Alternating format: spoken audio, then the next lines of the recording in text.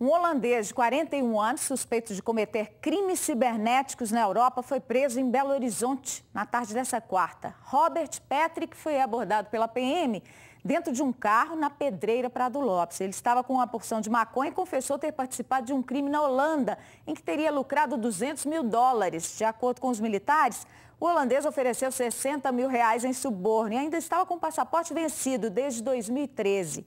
Ele foi levado para a sede da Polícia Federal onde também tentou subornar os policiais mais uma vez, oferecendo 10 mil para ter o carro liberado. Patrick vai ser indiciado por corrupção passiva e também vai ser investigado por crime cibernético no Brasil.